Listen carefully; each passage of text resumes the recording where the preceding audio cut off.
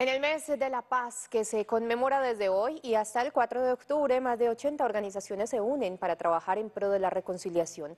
Se realizarán actividades territoriales, académicas y de sensibilización en torno a la paz total.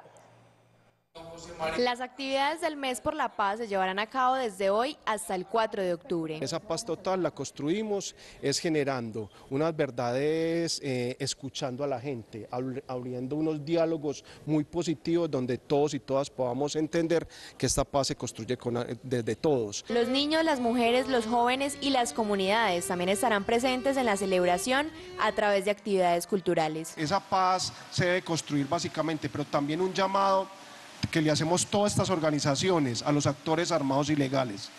Eh, les pedimos y les exigimos que estén eh, prestos a un diálogo. Este mes tendrá fechas importantes como el 30 de agosto, Día Internacional contra la Desaparición Forzada, el 9 de septiembre, el Día Nacional de los Derechos Humanos, y el 21 de septiembre, el Día Mundial de la Paz.